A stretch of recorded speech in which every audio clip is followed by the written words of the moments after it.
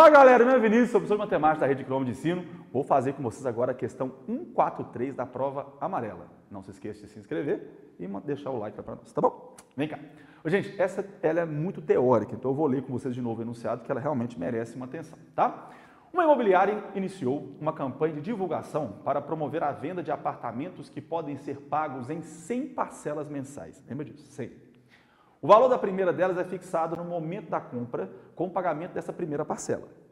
A partir da segunda parcela, o valor é determinado pela aplicação de um acréscimo percentual fixo ao valor da parcela anterior. Está vendo? Tem uma porcentagem aplicada aí. Como atrativo, a imobiliária fará o pagamento de todas as parcelas correspondentes ao mês do aniversário do comprador. Um cliente que faz aniversário no mês de maio decidiu comprar um desses apartamentos por meio do financiamento oferecido pela imobiliária e pretende escolher o mês mais adequado para realizar essa compra, de modo que o valor total dos pagamentos seja o menor possível. Vamos lá. Qual é a razão, qual, desculpa, qual é o mês que esse cliente deverá escolher para realizar a compra do apartamento? Gente, pode ir para cá, por favor. Gente, olha só como é que a questão enunciada dela é bem assim. Não tem número, assim, praticamente.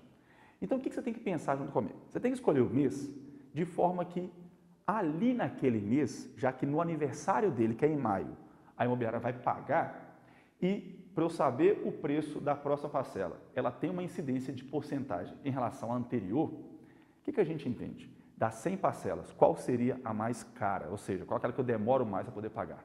Seria a última, a parcela 100.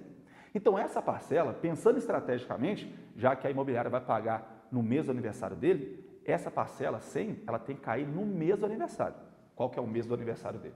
É em maio. Então, a parcela 100 tem que estar aqui. O que, que a gente entende? Olha só.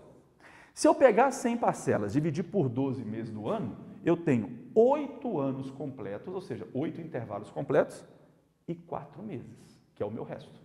Então, pensando nisso, já que eu preciso ter a mais cara no mês do aniversário dele para que a imobiliária pague para ele, então conta comigo quatro meses. Um, dois, três, quatro. Ou seja, o mês ideal seria fevereiro. Letra A da nossa questão. Tá bom? Tá vendo? Não tem conta quase que nenhuma, é uma continha só, mas a interpretação dela é muito boa. Tá bom? Tchau para vocês, um abraço, até mais. Falou, gente! Falou!